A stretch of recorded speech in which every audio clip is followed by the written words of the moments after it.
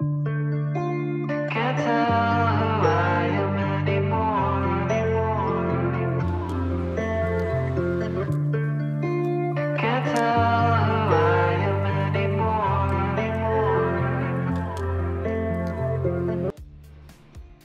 time of year is pretty hard for me. It's probably hard for some of you guys as well. In fact, I'm sure it's hard for some of you as well because SAD, or seasonal affective disorder, is a real thing that affects quite a few of us on this planet, especially those of us who live in regions like this where it's cloudy and rainy for almost half the year, or those of us who live in more northern latitudes where it gets really dark in the wintertime. And it might not be the coldest or the wettest or the darkest when October turns into November, but it's the hardest time of year for me because I know I'm looking into the darkness and the abyss that is to come. I know there's going to be months and months of this ahead of me, and there's no return from here.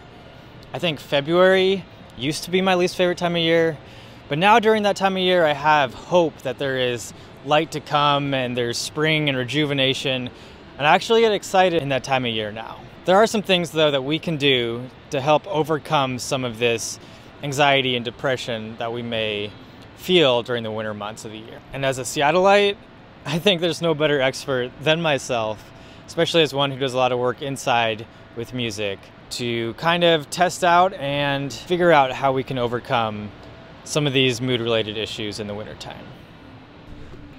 The forecast for this upcoming week is pretty bad, so what better time than right now to combat SAD and to try out some stuff and do some learning with all of you.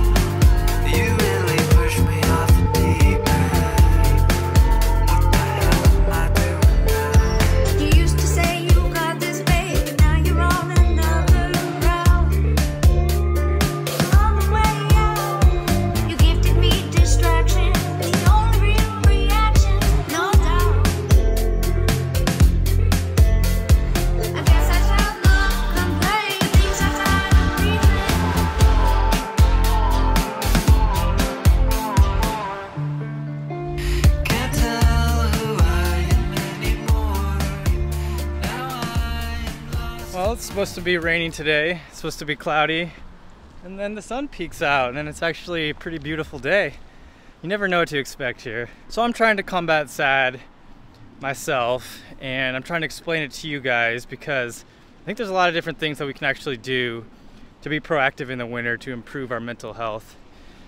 And coming from a musician and a music producer, uh, music can be key in this process. I'm actually pretty bad about using music to my advantage, though. So, both listening to music and making music can be great to improve your mood or to de stress. I don't know about other music producers, let me know if this is the case for you, but I struggle to listen to music and to enjoy music.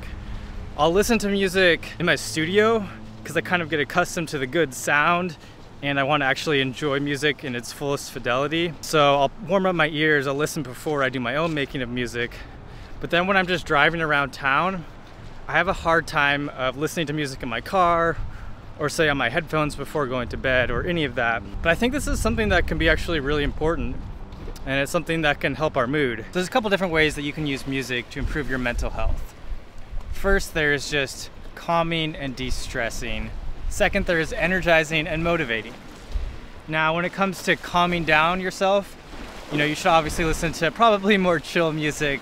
But one thing that is really great that you can do is actually listen to nature sounds and soundscapes. Uh, there's been studies about this, and you know the results are definitely a little bit mixed in some of the studies I've read. But calming music can have a great impact on lowering cortisol, which is kind of the stress-inducing hormone in your body, and it just enabling yourself to relax and to be better at your work, more productive, and just better in everything you're doing day to day.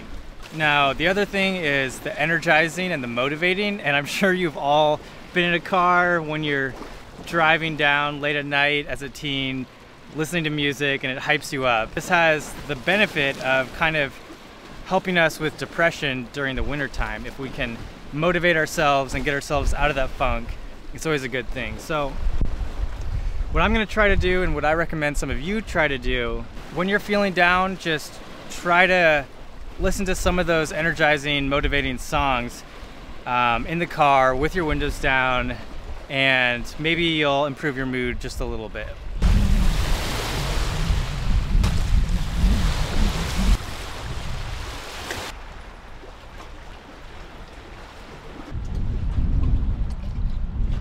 And then the other thing is playing music. So playing music can be very therapeutic and it's good for your brain as a lot of different research shows. But what, what's really important is that it doesn't matter how good you are, whether you're a professional or whether you're amateur and don't know anything about music playing. You just have to kind of experiment. In fact, even if you don't know an instrument at all, sometimes that's the best way to kind of struggle, to maybe get a little bit more depressed for a few minutes, but then to overcome that struggle and to start uh, really working out your brain and building new uh, neural connections and pathways in your brain, which in fact will get you out of some of the winter funk.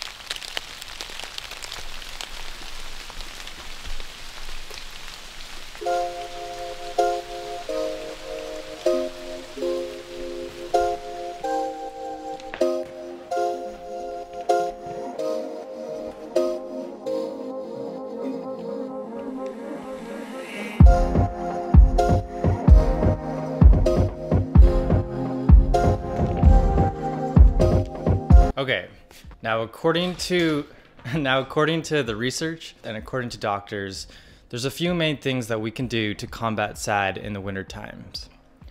First is exercise, as we would all expect. So they're not letting us get off easy here. Um, they definitely recommend exercise. And second is light therapy. Now, light therapy is something that I've always wanted to try, but I've never gotten around to. So I use this video here as kind of an excuse to actually buy this light. And what I did is I went on Amazon about a week ago and bought this cheap one here. But you could probably get one anywhere, and it just has to be 10,000 nits of brightness and 6500 Kelvin daylight temperature. So you're basically just simulating the summer sunshine um, with one of these lamps. And what they recommend is that you use it for about 20 minutes a day in the morning time when you first wake up. And so that's what I'm doing today. But there's definitely been days this week that I haven't been able to use it in the morning. Maybe I've woken up later, but I've used it in the afternoon and I've definitely used it for a lot longer than 20 minutes at a time. Sometimes I've used it for 45 minutes or an hour because I'll just work in my studio on some music and I just get kind of I just kind of enjoy the light being there. You know, the main reason that you're supposed to use it in the morning is just so you can kind of fit with your circadian rhythm. You can get the blue light earlier in the day, uh, so you're not kind of affecting your melatonin production later at night. The light will energize you for the rest of the day and kind of wake you up a little bit as well. So, what have I noticed doing these two things over the past week? Well, first, what I'll say is it's been way too long since I've really been dedicated to exercising. I used to exercise all the time, but then when COVID came around, I kind of used it as an excuse to just fall off the map and stop exercising.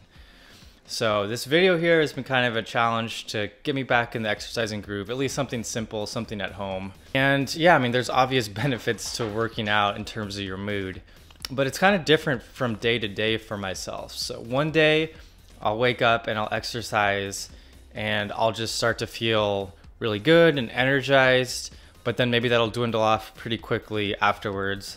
And then there's other days where I'll be exercising and I'll still be drowsy and tired. I won't feel too good. I'll be kind of down. but then I have a little bit more endurance throughout the day. If I check in with myself later on in the day, I'll notice that I'm feeling better than a normal day. And then there's other days that I exercise and it doesn't really have any benefit at all. It is a little bit hit and miss, but you are basically taking a drug when you exercise, so you are gonna feel better. You're gonna get a little bit of that runner's high. Now, in terms of this light, what do I think about it? Well, I actually really think that it is effective. I'm shocked by uh, how much I've enjoyed having it.